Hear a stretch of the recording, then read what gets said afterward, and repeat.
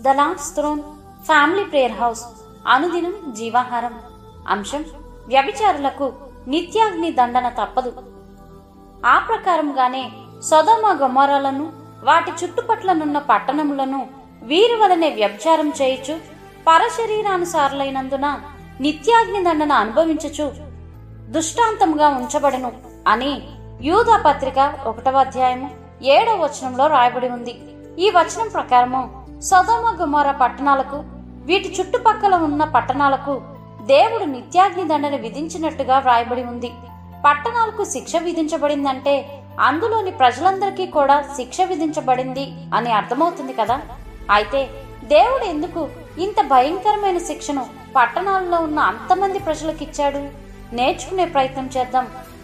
సొదమ గుమారాలను గురించిన ప్రస్తావన మనకు ఆది కాండము పద్దెనిమిది పంతొమ్మిది అధ్యాయాలలో కనిపిస్తుంది. ఈ సొదమ గుమారా పట్టణాలకున్న అతి భయంకరమైన లక్షణము వ్యభిచారము. వీరు ఏమాత్రం ఇంకిత జ్ఞానం లేకుండా వారి వరుసలు మరచి వ్యభిచారం చేసేవారు. అంత మాత్రమే కాకుండా పురుషుడు పురుషుడితో వ్యభిచారం చేసేవారు.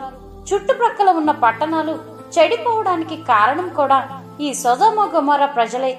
ఈ పట్టణాలకు ఉన్న భయంకరమైన లక్షణాలు ఏమిటంటే గర్వము ఆహార సమృద్ధి నిర్విచారమైన సుఖస్థితి అని ఎహెస్కేల్ గ్రంథము పదహారవ అధ్యాయము నలభై తొమ్మిదవ వచనంలో రాయబడి ఉంది. వీరు కలిగి ఉన్న ఈ భయంకరమైన లక్షణాల మూలముగా వీరు ఎవరికీ కూడా సహాయం చేసేవారు కాదు.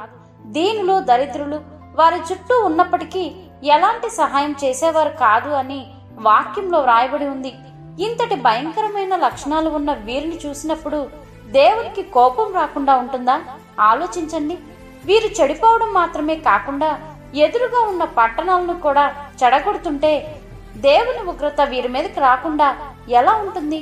అందుకే వారి పాపం పరిపక్వమయ్యేంత వరకు అవకాశాలు ఇచ్చినప్పటికీ వారిలో మారు మనసు కలగనందున ఆ పట్టణాలను అగ్నిగంధకములు కురిపించి నాశనం చేశాడు దేవుడు.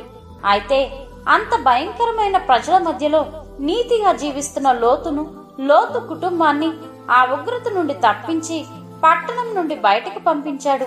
హల్లెలుయ! ప్రియ సహోదరి సహోదరుడా అర్థం చేసుకోవడానికి ప్రయత్నం చేస్తున్నావా? వ్యభిచారం చేస్తున్న వారి మీదకు నూతన నిబంధన ప్రకారం పరాయి స్త్రీని మోహపు చూపుతో హృదయంలో వ్యభిచారం చేస్తున్న వారి మీదకు దేవుని ఉగ్రత వచ్చే అవకాశం ఉందని నరకాగ్నికి అప్పగించే అవకాశం ఉందని గ్రహించగలుగుతున్నావా? దేవుడు మనల్ని ఆశీర్వదించిన కొలది సమృద్ధిని దయచేసిన కొలది బీదలను దీనులను ఆదుకోవాలని దేవుడు ఇష్టపడుతున్నాడని తెలుసుకోగలుగుతున్నావా? అంత మాత్రమే కాకుండా నీలో నాలో ఉన్న దేవునికి నచ్చని లక్షణాల కారణంగా ఎదుటి వారిని కూడా ప్రేరేపించి దేవునికి దూరం చేసే ప్రయత్నం చేస్తే దేవుడు ఎట్టి పరిస్థితుల్లో కూడా సహించడని గ్రహించగలుగుతున్నావా? కాబట్టి సదోమ గొమోరాలకు ఉన్న లక్షణాలు మనలో కూడా ఏమైనా ఉన్నాయేమోనని మనల్ని మనం ఒకసారి పరీక్షించుకుందాం. మన వలన ఎవరైనా దేవునికి దూరం చేయబడుతున్నారేమోనని పరిశీలించుకుందాం. దేవుని ఉగ్రతను నిత్యాగ్నిని తప్పించుకుందాం. లోతు వలె నీతిగా జీవిద్దాం. నిత్య నరకం నుండి తప్పించబడి పరలోక రాజ్య వారసులుగా జీవిద్దాం. దేవునికి మహిమను తెద్దాం. అట్టి కృప దేవుడు నీకు నాకు మనకు అనుగ్రహించునుగాక.